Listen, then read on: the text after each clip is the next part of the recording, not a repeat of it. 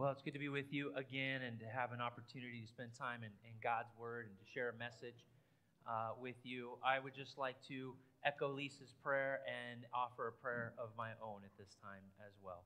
Heavenly Father, I continue to ask that you would speak from your throne room today and that, Father, your Spirit and your Word would be heard in this place. All other distractions and obstacles be removed, Lord. May I be a vessel and may it be your Spirit that blesses today. In Jesus' name, amen.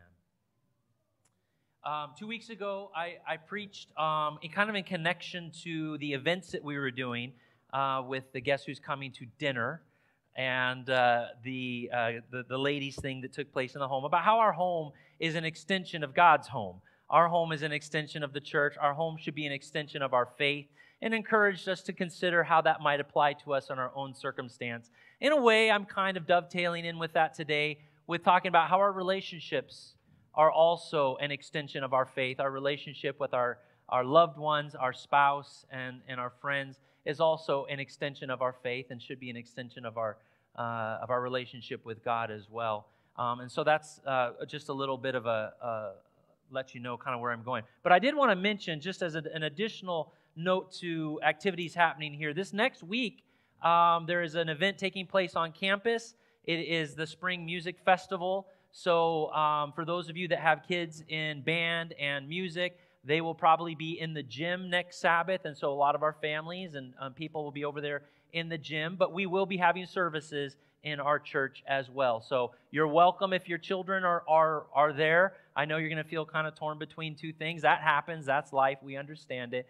Um, but just so you know, we are having services here, um, and we will uh, we will worship the Lord in this place uh, while the uh, music festival is also happening. Wanted to mention that. The title of my sermon is "Loved." Isn't that nice? That's a good title, isn't it? It's uh, it's it's powerful. That alone is a sermon right there. Loved. Well, um, I do like to begin my messages with a little bit of an interaction with young people. Um, February is not known for having as many celebrations and festivals. Where's Lukey and Toby? I want to welcome uh, Toby's friend Lukey here from Vancouver, Washington.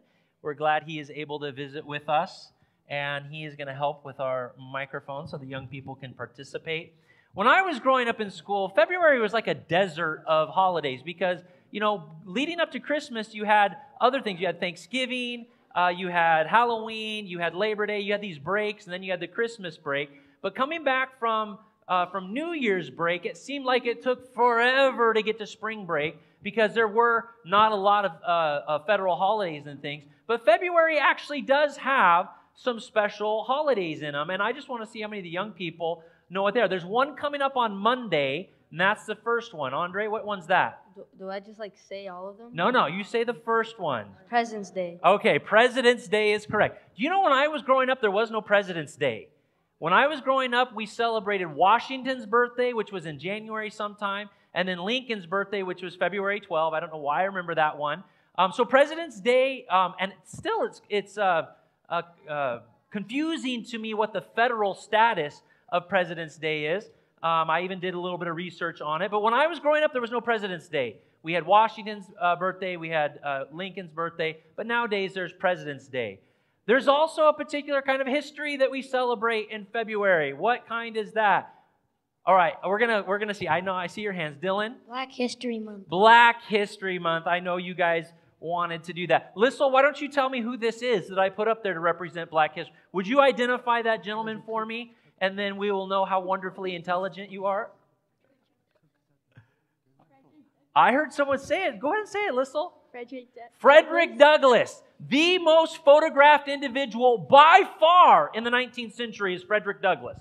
Frederick Douglass, they used his photograph. He encouraged it. The abolition movement encouraged it. He, be- he believed, and it was believed that his, uh, his appearance and his looks spoke volumes to the movement of freedom um, I am a extremely big fan of uh, Frederick Douglass. I've read all of his autobiographies, all three of them.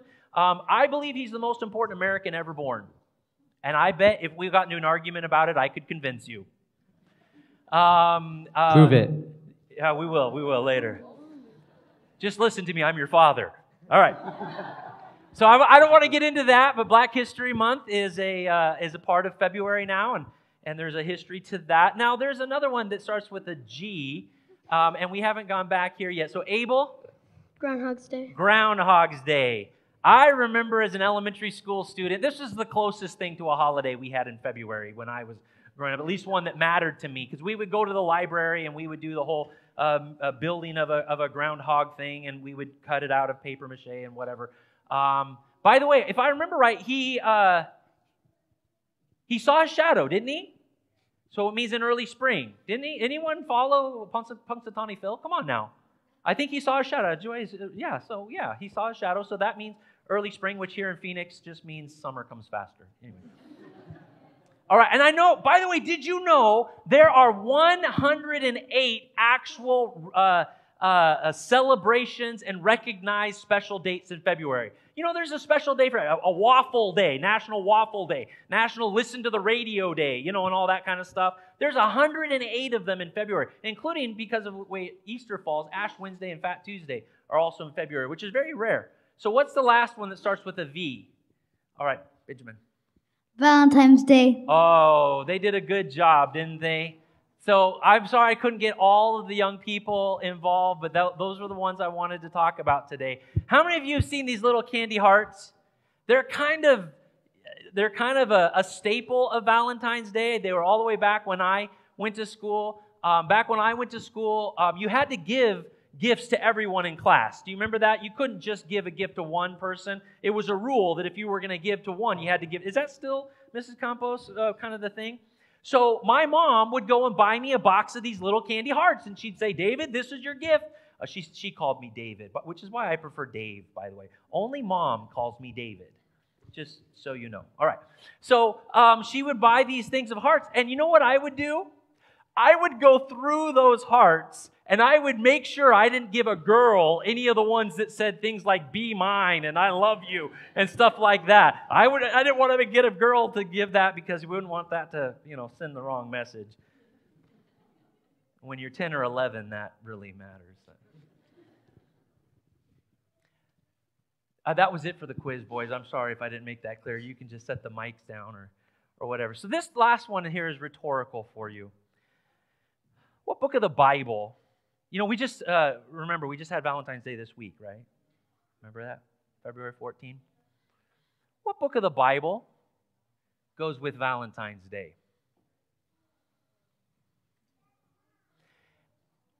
I'm in my 24th year of ministry. I have only preached out of this book one other time. And I, I looked it up. I had to go into my records. It was in 2010. 2010 is the only other time I have ever preached out of this book. But as I was preparing and praying about what to preach about today, the Lord directed me here, Jaylene. What book of the Bible goes with Valentine's Day? I bet it's one that you don't read very often. I bet it's one that you're not super familiar with. But I bet after today you'll be more interested in it. It's called the Song of Solomon. How many of you got it? Yeah? Song of Solomon.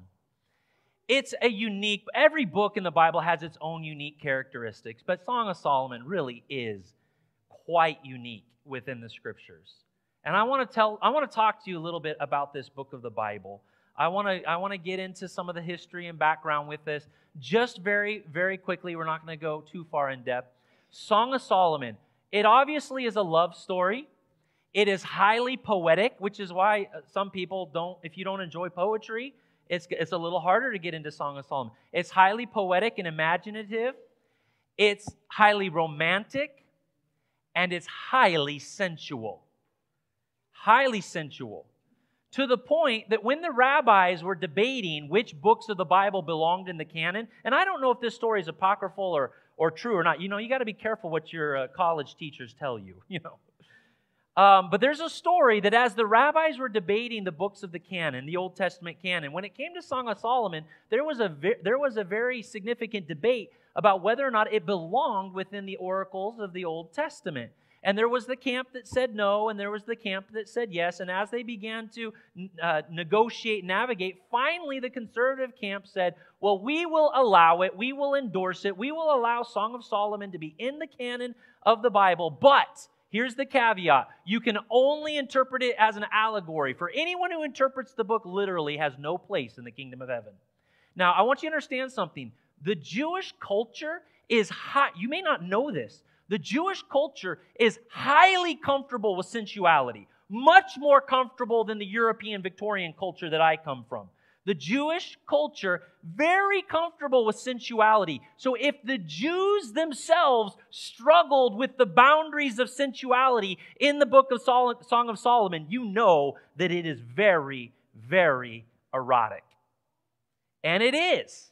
Now, by the way, just just I don't know if you can see it on the screen here. I, I, put it up here. You see the beginning of the Song of Songs, which is Solomon's. Let him kiss me with the kisses of his mouth, for thy love is better than wine. Thank you. I couldn't quite see it in the bin. But um, now, um, children, shield your eyes for a moment. Look right here. A bundle of myrrh is my well beloved unto me. He shall all, lie all night between my breasts. And all the married men said, Amen.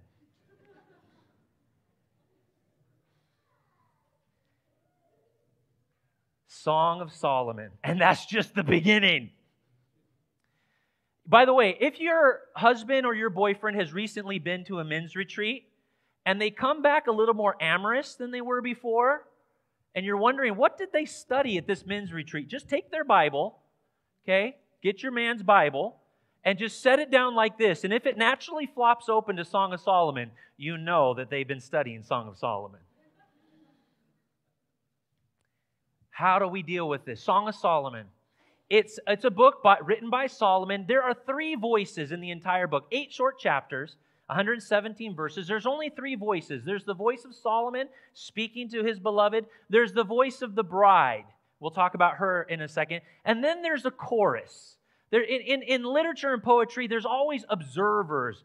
You know, behold, my love is like a gazelle dancing through the forest in the leaves of the blossoms of the you know, it's, it's all this stuff, right? And then there's a chorus. Yes, their love is sweeter than wine. Yes. But those are the only three voices. You have the voice of the king, Solomon. You have the voice of the bride, who's known as the Shulamite. And then you have the observing chorus.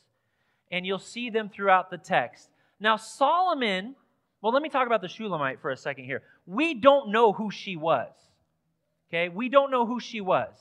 Um, to this day, there are debates and arguments about which wife it was that Solomon married and what he wrote this book to. Now, when you think about this for a second, isn't Solomon an interesting person for God to choose to write the most romantic book that is included in Scripture? What is Solomon known for? Well, his wisdom, right?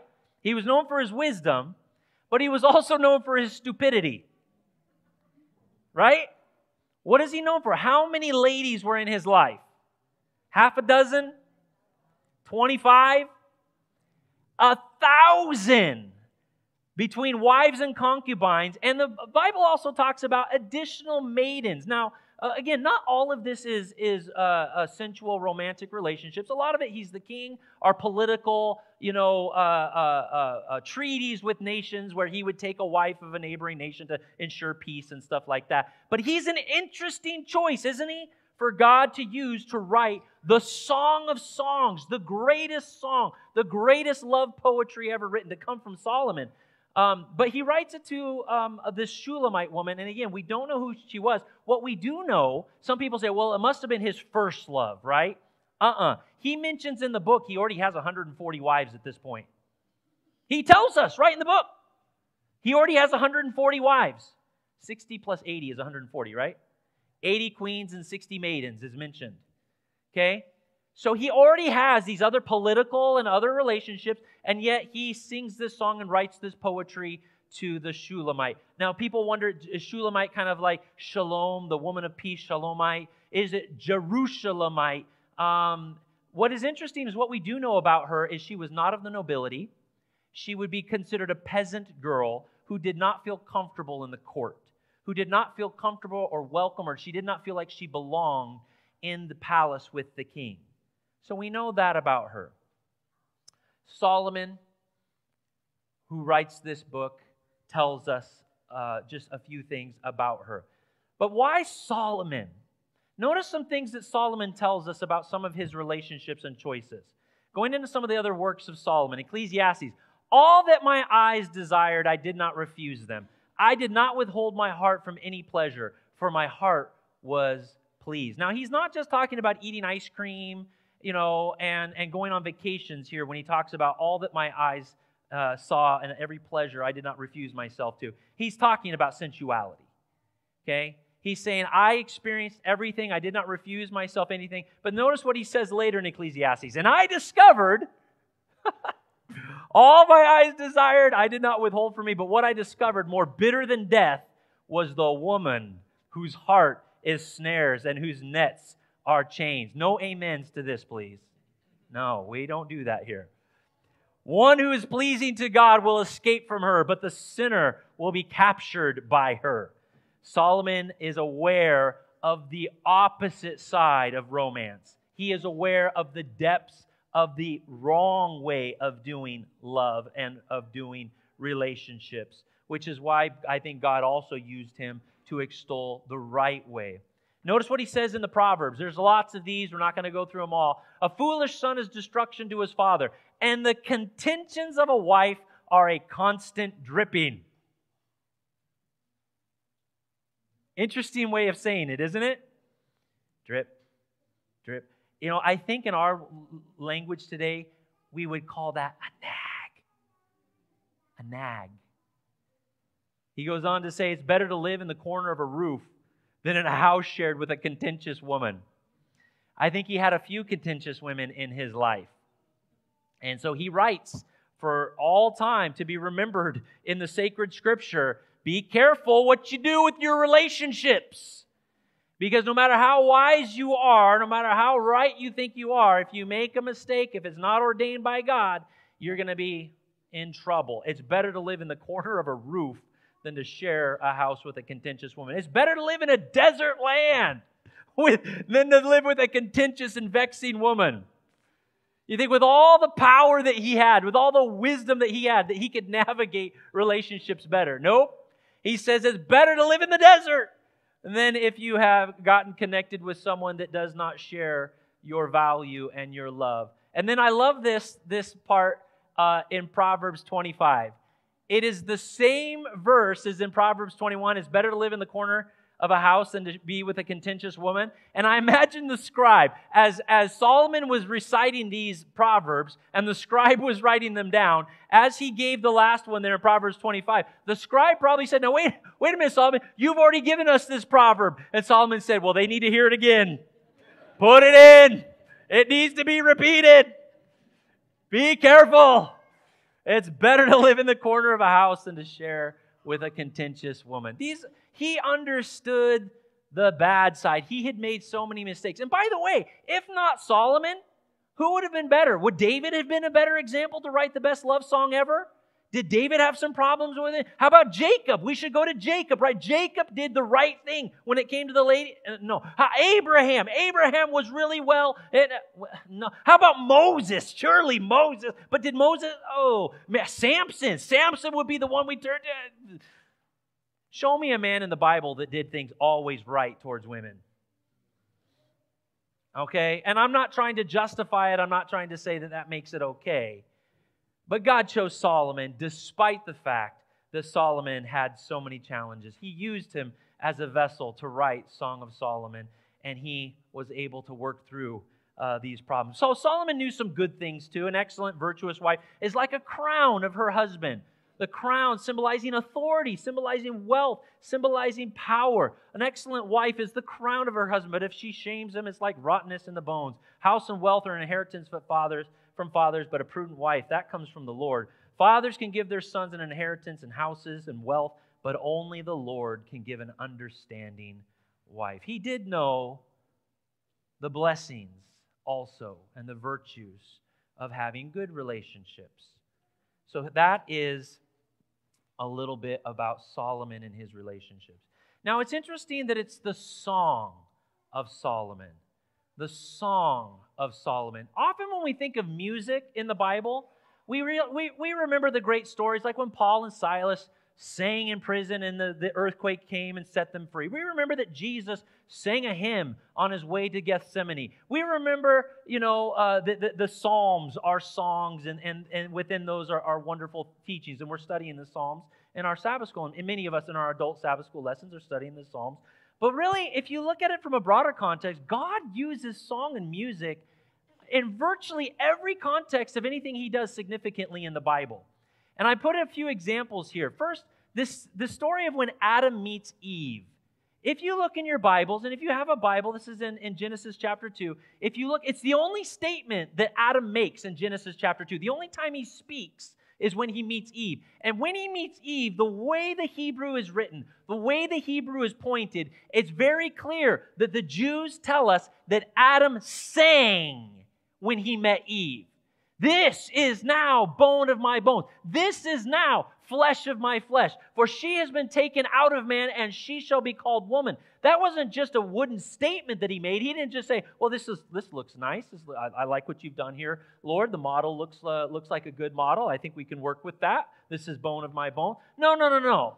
When Adam met Eve, his heart was filled with excitement. His heart was filled with racing. And by the way, you can read in Song of Solomon allusions to Adam and Eve. You can read about the experiences of Adam and Eve in their first romantic engagement in Song of Solomon. It's referenced. Adam sang when he met Eve. Now, guys, don't don't act like you don't understand this. Didn't your heart sing just a little bit when you met your wife? Oh my. Some of you are in trouble. Are you afraid to admit it? Didn't your heart flutter uh, when, when you met her? Didn't there spring up in you some sort of, of higher uh, uh, uh romance that inspired song?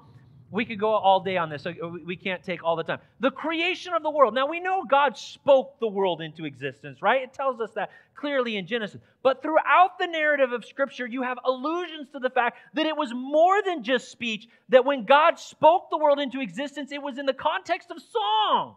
Did you know that? That God, either there was singing of the heavenly angels, or God Himself, as He spoke the world into existence, did it in the context of singing. Either the singing was happening as he spoke, or the very words that he spoke were done so with song.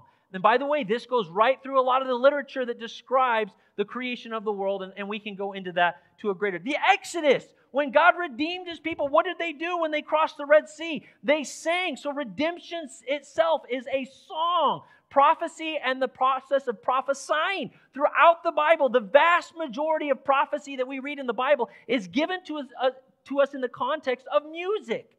The Psalms themselves, which are songs, are not just words of wisdom, they are prophecies given to us in music. Worship, we know how central, uh, uh, central music was to the worship of God.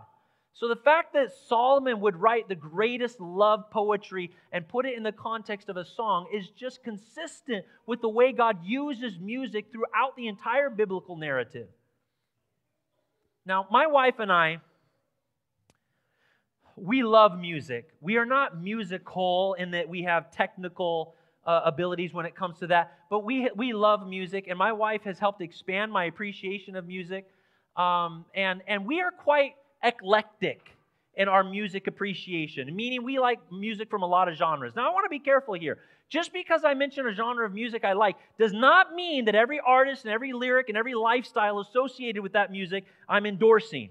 But there's a, there's a, a, a level of appreciation for a variety of music um, that we, we enjoy. Now, whenever you're in our home, whenever we're in the car, whenever we're doing anything, we almost always have music playing. Music in the background. We've got like 50 Pandora stations that we can tie into. As a child of the 80s and 90s, I grew up with the big hair and glam bands, punk, progressive, urban pop, and new wave. All were part of my growing up experience, and there was an element of each of those that I grew to appreciate. The 90s introduced grunge and alternative. And uh, so I got to be familiar with those. But in the mid 90s, a new sound took root in American culture. It'd been around for years, but was largely unknown in the U.S. until an American band called the Mighty Mighty Bosstones from Boston released their single, The Impression That I Get. It's called Ska, S K A. Have you ever heard of ska?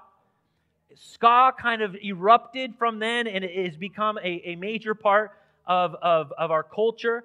It originates from Jamaica. It's kind of the opposite of reggae. Reggae is kind of a downbeat rhythm and blues, slow and flow um, um, style music, whereas ska is an upbeat, upstrumming. If you play guitar, strum up the entire time you're playing ska. It's only up strumming. It's fast paced. It's big brass. It's uh, it's uh, loud. And I have found of all the music genres that I like, I don't like ska.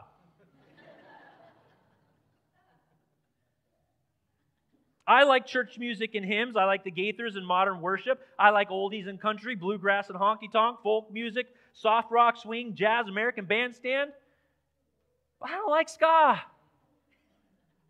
I like Southern gospel, soul train, funk, disco, R&B, hip hop, K-pop, sock hop, bubble pop, and doo wop. But I don't like ska. I like the crooners, the criers, the dreamers, the whiners. I like classical and Broadway, operas and musicals. I like Celtic music, Latin, reggae, Hawaiian, flamenco, but I don't like ska. I even like elevator music.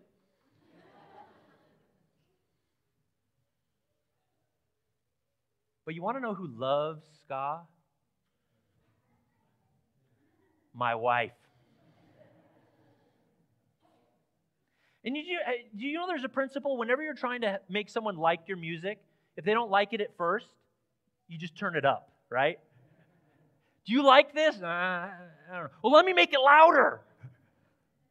If it gets loud enough, then you'll like it, right?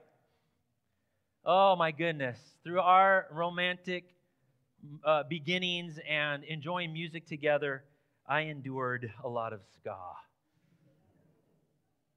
despite how much we have in common of liking all genres of music except that, for some reason, you'll find ska playing in our house more often than I would like. But I love her. And I love the fact that we love music together. And even when we don't always agree, we have found a way to still have our song together. The message of the Song of Solomon is one of deep romantic connectivity. It's about the gift and beauty of companionship and love. It's about the power of allurement. And it recognizes the outstanding uh, nature of how sensuality affects the human being. As a matter of fact, the only time the name of the Lord is found in Song of Solomon, which, by the way, which was one of the reasons why the rabbis balked at Song of Solomon. They felt like in order for a, a book of the Bible to be in the canon, it had to include the name of the Lord, which is why Esther barely snuck in. The name of the Lord is not found in Esther once. And yet it was still, it was still, it was in the Bible of Jesus, and we love it. We know that it is part of the canon. Song of Solomon only mentions the name of the Lord once and it identifies the passion of love as the flame of Yahweh. I want to read it actually for you. It's it toward the end, Song of Solomon, chapter 8. I had it and I lost it. Let me pull it back up here. It's about the power of allurement. Poor, uh, Song of Solomon 8, verse 6. Put me like a seal over your heart, like a seal on your arm. For love is as strong as death Jealousy is as severe as Sheol. Its flashes are flashes of fire, the very flame of the Lord. The very flame of God.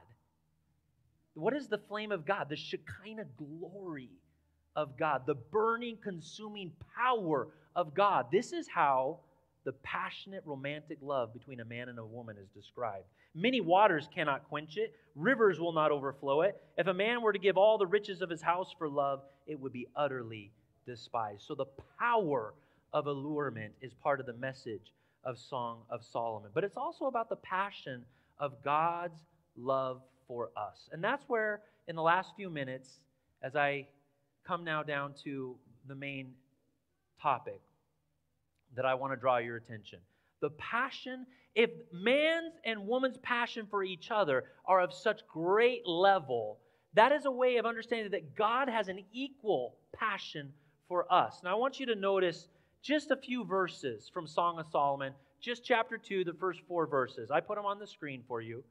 You might recognize some of them. I am the rose of Sharon, the lily of the valleys. Like a lily among the thorns, so is my darling among the maidens.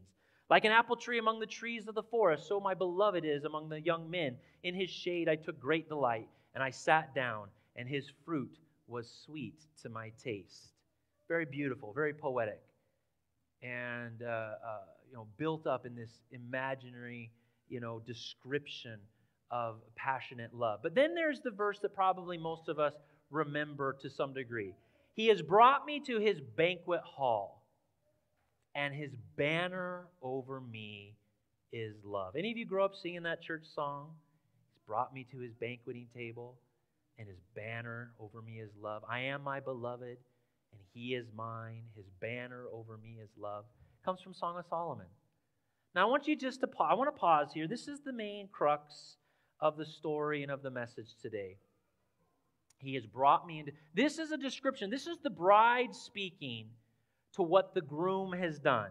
And she says, He has brought me. She who was not of the nobility, she who had no right nor claim to being in the palace and to be among the nobility, she says, But he has brought me.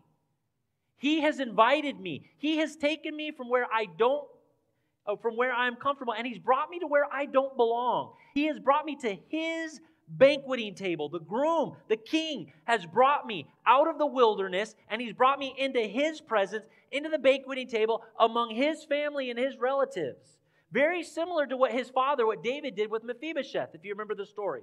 Mephibosheth, the son of Jonathan, who was outside of, of, uh, of the kingdom and, and had been forgotten and neglected, and David redeems. I, I, I, talked about Mephibosheth when I did my series on forgiveness, how David redeemed Mephibosheth, and he brings him back to the king's table to show him that he has now been adopted as his son. Very similar language. He's brought me into his banquet hall. He has introduced me, he's brought me, and he's established me as one of his that belongs to him.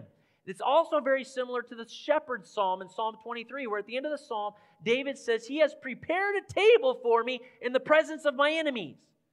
And what David is saying, before the enemy attacks, if the enemy wants to know who my God is, God has established intimacy with me. He has sat down in the presence of my enemies, and He has shown that He is on my side and that we have intimacy together. So, enemies, beware. If you attack me, you are attacking the one who is intimate with God. This is a similar saying, but only it's not amongst the enemies of God, but among the most intimate friends of God. He says He has brought us in and, and sat us down with Him in the banquet hall. He is eating with us. He is bringing us. Very similar again to Revelation, where it says, Behold, I stand at the door and knock. If anyone hears my voice and opens the door, I will come in and dine with him. This intimacy that is described here in Song of Solomon. But then this next phrase is, is one that we should not gloss over, is one that we should not race by or, or, or try to misunderstand. He has set his banner over us and declared us loved. Not only does he bring us into his banquet hall, not only does he draw us into his personal space of intimacy, but then he sets a standard above us. He sets a sign. He sets a note. He puts up a, a, an imagery and a picture saying, Of all people, I want you to understand that this is the one that I love. He has set his banner over me. In any part of the ancient culture, if you were part of a city or if you were part of a traveling group, you carried a banner to identify who you were. Oh, that's the children of Israel. That, that's, those are the people that are traveling through the land, and they worship El Shaddai. We see their banner. They worship the lion of the tribe of Judah. We see their banner. Okay, if you conquered a city, you would take down their banner and you would put up your banner as a sign of victory. We have had, we've won this city and we're putting up the banner of our God. So here, when, when Solomon says that, that he brings the bride in and he welcomes her in, and then he puts a banner over her as a way of declaring amongst everyone who's watching, everyone who's there, this is my beloved. I have welcomed them in, and this person above all people is loved. Now, friends, you are that bride. You are the one that God has set his banner above you so that all people would know you are loved. That is the gospel. That's the greatest message that could ever be bestowed upon humankind. To know you are loved. That is the message that we need. That is the message that sin tries to destroy and tell you you're not loved. You are worthless. You are without. You are outside. You are not welcome. And God comes in and He sets His banner over us to say, no, that's not the story at all. You are loved. You are loved. If you don't feel loved, you say, I don't feel loved. You are loved. You don't feel worthy of love? You are loved. He has set his banner over you. You feel like, I don't deserve love. You are loved. I'm alone. I don't have anyone in this world. You are loved. I've never been married. I've been divorced. I'm single. I'm in an unhappy marriage. You are loved. Let it never be taken away from you. Let it never be removed from your memory and from your mind, no matter where you are in your station in life. He has set a banner over you. He has declared you as His own. He has welcomed you into His banqueting table, and He has said, You are loved. I've made mistakes. You are loved. Solomon knew all about mistakes, but you are loved. That is the message. This is the gospel at the heart of this beautiful love story. You are loved. His banner over you is loved. How many of you are thankful that you know that you are loved? Boy, that message needs to be heard in this world today. We're not hearing that. When you turn on the news, is that what you're hearing? In your workplace, in the debates, in sports? I, I love competition. But in the context of our world, we are not getting this message enough. And we need to be reminded of it over and over. To possess true godliness means to love one another, to help one another, to make apparent the religion of Jesus in our lives. When the Lord's people are filled with meekness and tenderness for one another, they will realize that His banner over them is love. His fruit will be sweet to their taste. I like this part now. Heaven will begin on earth. Some people say, I just I can't wait for heaven, right? I, I want heaven today. Do you want heaven today? I think I've lost you. It's 12 22. Have I lost you? Do you want heaven to come today? Are you ready to go home? And we all want that and we desire it. But the Lord instructs us that when we really experience and understand the passion of His love, heaven begins now. We can experience heaven now. Heaven begins on earth. They will make a heaven below in which to prepare for heaven above. Are you thankful that you're loved? God wants to use our relationships to illustrate his passion for us. And we can study and read other passages and the rest of Song of Solomon. It can be a great blessing to our, our, our marriages and to our relationships. But we should always remember that the most important message is God's relationship with us. It's passionate. It's passionate. And his banner over us is love. Let's pray together. God in heaven, I know it's a simplistic sentiment and message, but sometimes, Father, we don't need complex. We need simple. And Father, I pray that every heart within the sound of my voice would hear the message and apply it to their lives that they are passionately loved. Not from a distance, not in a sanitized way, but in a deep relational way, God is passionate about declaring his love for us. He is passionate about coming back and reestablishing the intimacy that we have lost because of sin. But Lord, through the ministry of the Holy Spirit and through the power of faith, we know that as we open our hearts to you, we can experience that love even now. And we can share that love. And we should share that love. And we must share that love even now. If we are loved, so also should we love others. Change our heart, Lord. Make us into that image. Impress that truth upon our hearts that you have set your banner over us. And on that banner is the word loved. We pray this in Jesus' name. Amen. Thank you for being with us today. Thank you for worshiping with us. We hope that you have a great week, great rest of your Sabbath. Hopefully, we'll see you again soon. God bless.